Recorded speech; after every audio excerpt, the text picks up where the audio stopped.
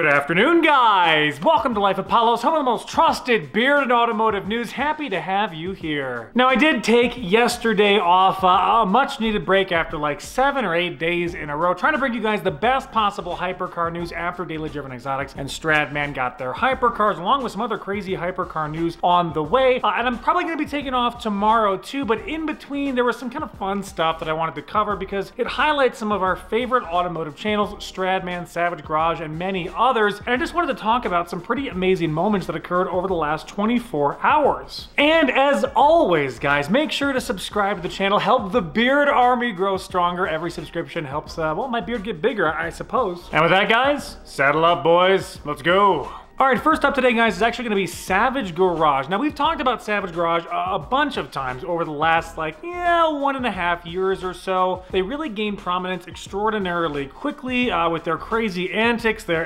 exceedingly expensive uh, super and hypercar purchases, the big rallies they've done, along with doing a lot of really big collaborations, Street Speed 717, Shmee, all, all those sorts of people. And I would say one of the bigger elements of them sort of gaining crazy prominence here uh, has been some of their recent hypercar purchases. First the Koenigsegg CCX, then the Pagani Huayra, and now, you know, we, we've made some speculation pieces in the last week or so about them maybe buying a brand new Bugatti Veyron. I say brand new, you know what I mean. But there's so many hypercars coming to their channel and it seems like they're not done in that area yet. But before we get into their new hypercar video, I want to talk about a very special Instagram post that I saw Savage Garage put up over the last 24 hours. So if you go over to their Instagram account, you see a beautiful picture of the RS6 Avant with the caption below. That's actually a pretty big deal. This is an amazing announcement for me. I have been a huge RS6 Avant fan and had an order in for one. This is the RS6 Special Edition. There are only 25 being made and I just got word that I have the first serial number and first US one ever. It's at customs now and will be here for Savage Rally. I am beyond thankful to Rockville Audi for making this happen. So talk about how incredible that is, guys. Uh, to get the very first edition of that car coming into the US, that's a very, very big deal. Uh, there's been a lot of hype behind the RS6 Avant uh, making its way to the US after a long absence of that particular kind of car over in the United States. This is gonna be a pretty big deal for their channel moving forward. Uh, and that, that by itself would have been a fantastic story to sort of talk about a little bit today. Uh, give Randy a big congratulations, but there seems to be something even bigger on the horizon, even more so potentially than the Bugatti video that we did on them potentially getting a, a Veyron here in the next couple of weeks, days, we're not even sure. One of their latest videos on the Savage Garage Clips channel had a couple interesting moments that makes it look like it's possible Randy might be buying a LaFerrari to add to the Pagani and the Koenigsegg and the Bugatti. I gotta say, it's a little bit difficult to say. He does have a couple issues with the LaFerrari, says the interior looks very similar to his old 458, and that you can get some other cars for the crazy price tag attached to a LaFerrari. He does specifically talk about the fact that getting a LaFerrari could eventually be a pretty great investment as he thinks they're gonna go up in value over the next next, you know, five to 10 years. A lot of people weighing in in the comment section below. Uh, and really, this is just sort of indicative of, of, what Randy's channel is. Like, as he decided to get into automotive YouTube, he already had a, a bunch of great cars, but he really only started adding hypercars, uh, you know, like a year or so into his channel's progress. And I think it's a, a very, very big deal to have another person like Manny Khoshbin, uh, who has incredible hypercars, like Randy, giving incredible access to the hypercars to all of their fans.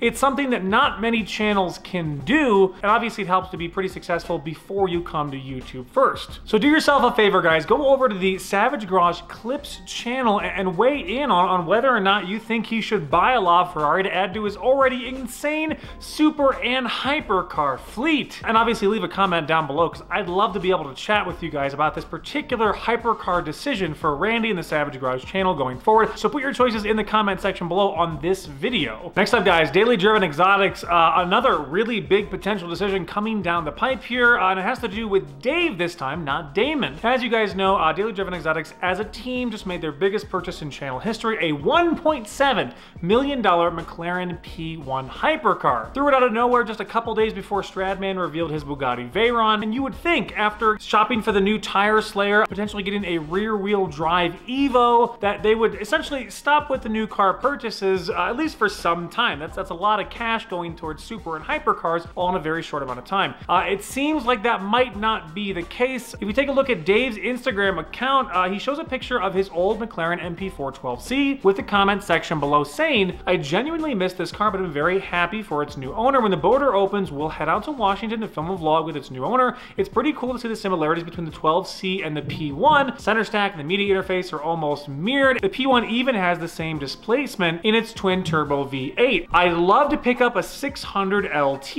and do more track days. The 12C was incredibly fun to track. Obviously the 600 LT, uh, incredible track car, even better than like the 675 LT because of the newer technology that was available when they made the 600 LT. Obviously there's a lot of great similarities between the 600 LT uh, and his old McLaren MP412C. Top mounted exhaust, extraordinarily fast. Uh, a lot of really fun things there and I can see why he wants a McLaren sort of back in his grouping. I'm sure he misses the McLaren MP412C. So the question for you guys is, would you like to see a 600 LT on the Daily Driven Exotics channel? Obviously they already have the P1, obviously they already have a 720S, and now potentially looking at a 600 LT too. I think it's very funny because for the longest time, I feel like they were never gonna get a McLaren because there was some sort of question mark about reliability over long periods of time. The Huracan platform was such a, a reliable uh, car to have for so many years on their channel, and I think that the McLarens had a lot of question marks, and it seems like all of a sudden we might have three different McLarens on the Daily Driven Exotics channel. So put in the comments below, guys, 600 LT, yes or no for Dave? Let me know. And last, guys, yes, we're talking about Stradman getting mobbed at his first official public appearance uh, with the Bugatti Veyron, the hypercar that was so incredibly important for his channel uh, after a number of months searching. And this is really cool, guys. So he put up a post a day ago saying the Bugatti will be at the Agility Customs Cars and Coffee tomorrow. Might be the last public appearance until next spring and summer. That's a pretty long period of time where no one else is really gonna be able to see this Bugatti Veyron. Obviously, we're getting sort of to the end of summer, into fall at this kind of point. Uh, and I, I, doubt he's gonna be driving that Bugatti much during the winter. You never know. We might have a snowplow Bugatti video. Can you imagine how viral that would go? I'm not sure it would go viral enough to cover the issues that it might have to go through afterward. Uh, but when Stradman took the Bugatti Veyron, along with Burlacher, by the way, uh, we got a bunch of incredible videos showing just how popular uh, James is when he goes to a public event, especially after buying his hypercar. So my favorite shot was this drone footage, guys. Look at this drone footage right now. Just incredible. Uh, you can see it over top, just a mass, at least over 100 people plus, just crowding around the Bugatti Veyron. We got Burlacher's point of view afterward. Take a look at that. James, you're getting mobbed. Hello. You're getting mobbed.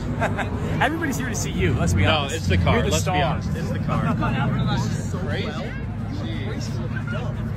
And then someone actually put a montage together uh, of just some really great shots of the Veyron sort of moving through the crowd and sort of the chaos that ensued. And obviously this is a very friendly mobbing, guys. Obviously mob can be either violent or big in admiration. And it's kind of a fun thing to be able to see uh, someone that, you know, a number of years ago was essentially homeless, living in his car, to the point where he has a hypercar and is essentially a monster celebrity in Utah. Think about how incredible that is that he can go to an event like that and instantly become the, the center of attention for the entire event, and it really never lets up. I would imagine that the entirety of the time that he was there, he was continually mobbed by people, so was his car, but I think it's generally a very cool thing for people, uh, you know, like Stradman to take his car out and share it with the public. You know, a lot of his vlogs take place at his house or sort of in relatively secluded areas. You don't often see him, at least on camera, doing big crowd events like it, and I hope we get a vlog from his perspective. I think that would be really, really cool. Obviously, just sort of a wish on my part, because I think it'd be really awesome to see. And obviously, if you have great footage, feel free to send it to me, uh, DM it to me on Instagram. I think it'd be a cool thing to be able to follow, uh, sort of continually going forward. Anyway, guys, had to share it with you because I imagine that any sort of public car event he goes to, this is what's gonna happen from now on, and probably has been happening for years at this point.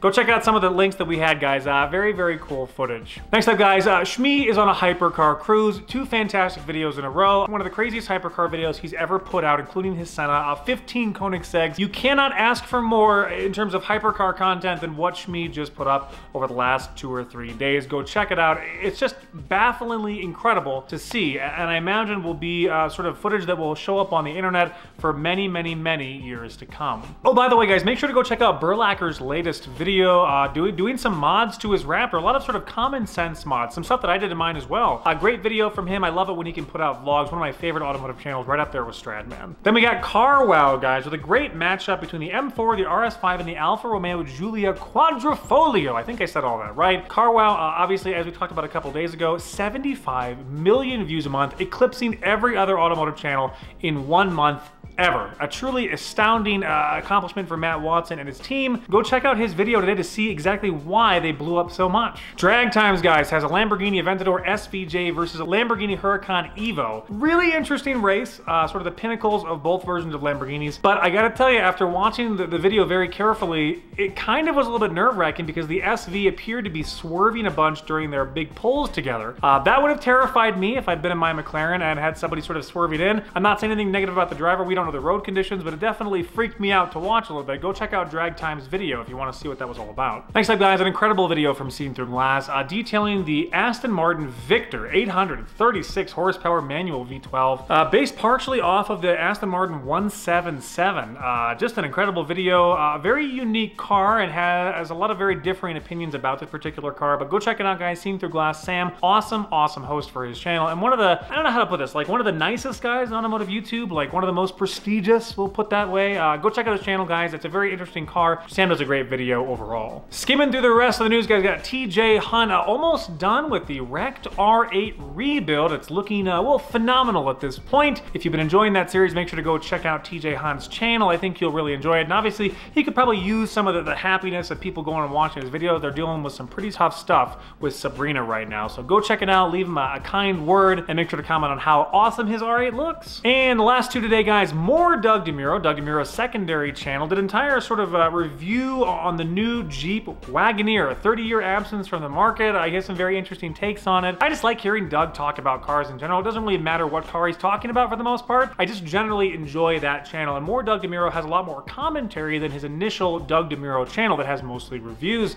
And then Engineering Explained goes on, on a really, really fantastic video uh, talking about why the Tesla has such incredible range compared to pretty much every other competitor in the space space. One of the better videos he's put out over the last couple months for sure. And folks, that's about all I've got for you guys today. Probably taking tomorrow off. I've got family in town I haven't seen for a couple years, uh, but everyone's sort of taking a nap right now. So I've got a couple hours to put together a video and, and get it to you guys and hopefully get it edited in time for today. So thank you guys so much. Thanks for supporting the channel. Uh, I got some great stuff coming up, guys. Uh, things got pushed back a little bit because of some weird COVID stuff, but we're pushing forward. Uh, Raptor build V12 still coming, just took a little bit longer than I initially wanted to. It's kind of rough. You talk about things and you want to get it pumped up, but at the same time, you know, if something goes wrong, like I've talked about in so many different videos, it can be kind of annoying for the audience, so I do apologize about that, guys. Anyway, have a fantastic day. Make sure to stay safe, sane, and healthy. I'm out of breath. Bye.